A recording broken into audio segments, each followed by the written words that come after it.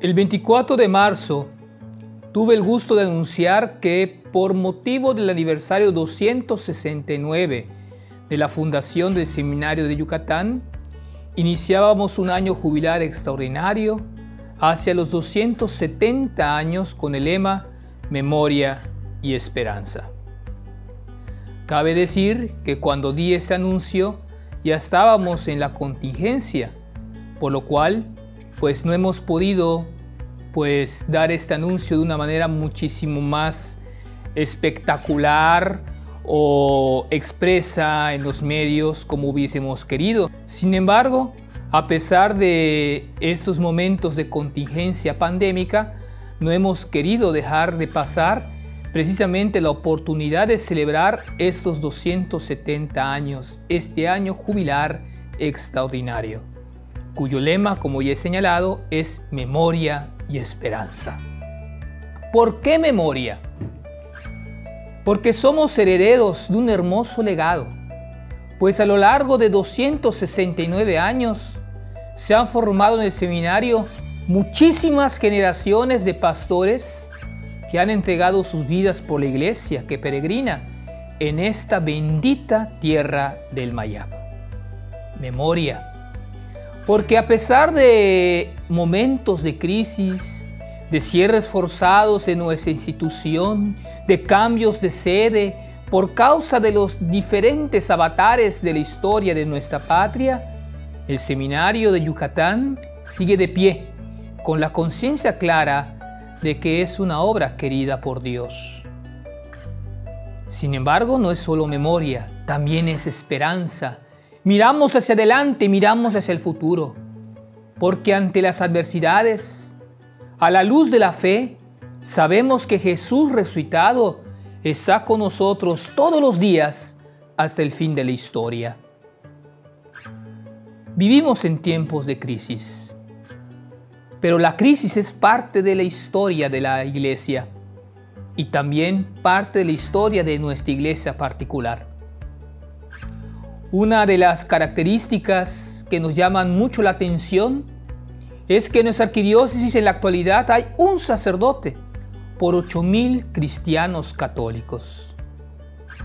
También es una realidad de que hoy en el seminario hay muy poquitos seminaristas y en los próximos años se estima que el número promedio de ordenaciones descenderá Tendremos un promedio de ordenaciones, al menos en los, primeros cinco, en los próximos cinco años, de tres sacerdotes por año.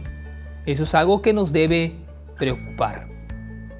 Sin embargo, la preocupación no puede estar por encima de nuestra confianza en Dios. Por eso tengo esperanza. Y les invito a todos a tener esperanza. Y esta esperanza está fundada porque durante nueve años que he estado como formador, puedo decir que conozco a los seminaristas actuales. Y he sido testigo cómo la obra de Dios actúa en cada uno de ellos. Y vislumbro sus potencialidades y de que serán un gran bien para el pueblo de Dios. Esta esperanza nos hace reforzar nuestra oración y pedir al dueño de la mies trabajadores para su viña y confiamos en que no faltarán jóvenes generosos, porque los jóvenes son generosos. Y sabemos que si ellos son sensibles a la llamada de Jesús, serán capaces de responder a su invitación, ven y sígueme, yo te haré pescador de hombres. Durante este año jubilar extraordinario hacia los 270 años del Seminario Yucatán, estrenaremos un logotipo que será conocido por ustedes por medio de los medios digitales. Por otra parte, los seminaristas se están formando para ser pastores.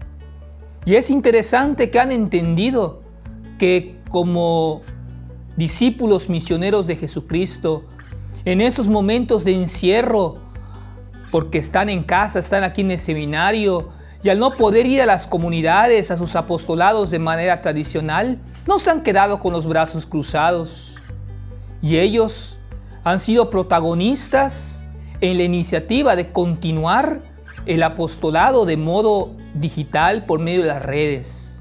De tal manera que a la luz del Espíritu vemos esos momentos de dificultad como oportunidad. El coronavirus no nos va a detener porque el Espíritu Santo no se contagia por el coronavirus. No podemos dejar de evangelizar. Ay de mí si no evangelizara, nos recuerda San Pablo. Los jóvenes seminaristas continuarán su misión apostólica por medio de las redes, por las redes sociales, por medio de la internet, por medio del Facebook, por medio del Instagram.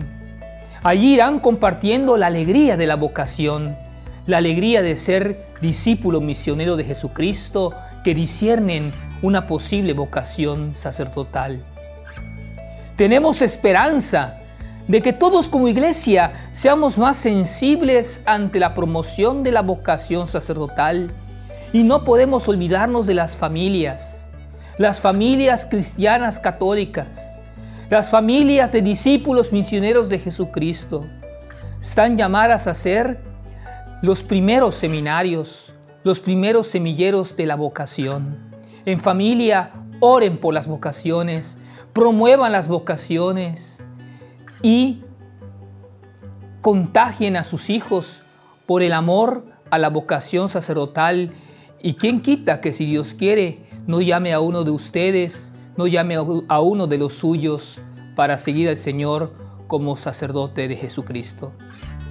Por último, les invito a todos a orar por las vocaciones sacerdotales, a trabajar fuertemente en la catequesis infantil, en la pastoral de adolescentes y pastoral juvenil, para que las nuevas generaciones sean sensibles ante una posible llamada de Dios.